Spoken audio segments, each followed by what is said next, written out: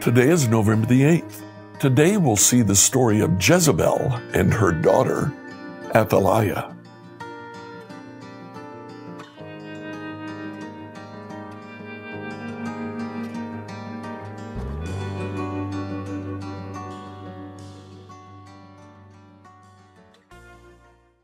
In reading through the Bible in a year, I'd like you to read 2 Kings chapters 9 through 11. Now, yesterday, we focused on the prophets, or the text focused on the prophets. Today, the focus shifts back to the kings of Judah and Israel. Elisha the prophet calls a younger prophet. He gives them a flask of oil. He says, Go to Jehu, who is the general of the army, and anoint him as king over Israel. Well, the prophet goes, he finds Jehu, he anoints him as king, and he gives him God's message. God says, You'll be king over Israel. Kill the family of King Ahab, of uh, the former King Ahab. This would have been King Jehoram, all of his brothers, all of his uncles, and all of his children. Well, in the latter part of chapter 9, uh, Jehu does that. But in verse 27, when King Ahaziah of Judah saw what was happening, he fled along the road to Beth-haggan.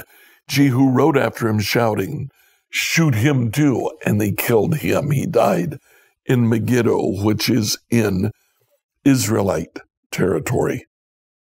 Now, Jehu returns to Samaria and he finds Jezebel, who's identified as the queen mother.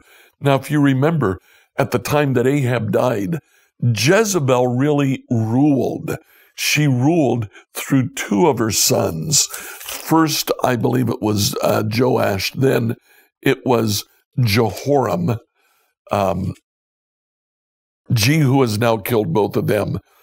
He has Jezebel killed as well he says, Who's on the Lord's side? And uh, uh, three eunuchs peek out of the window, and uh, Jehu says, Throw her out. And they threw out the window, and she died there. In chapter 10, uh, Jehu kills the rest of Ahab's family. At the end of chapter 10, he kills the priests of Baal. He went on a killing spree.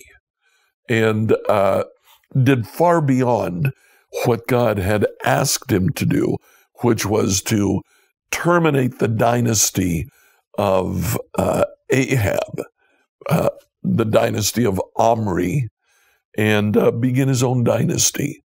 And uh, Jehu just went a little bit farther than God had commanded. Now, this leaves in chapter 11, Queen Athaliah, who was the mother of King Ahaziah of Judah, as queen mother over Judah. Jezebel had served as queen mother.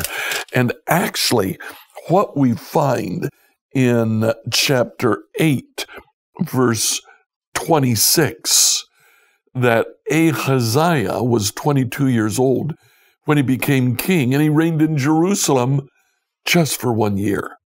His mother was Athaliah, a granddaughter of King Omri of Israel. That would make her Ahab's daughter. That makes her Jezebel's daughter. Athaliah, true to her mother's nature, decided, mm, I think I'll rule. And so she kills all of Ahaziah's brothers, and then she kills all of his sons, her own sons, to establish herself as the queen over Judah. But she had a sister, also a daughter of Jezebel, who apparently didn't uh, she saw what was happening with Athaliah.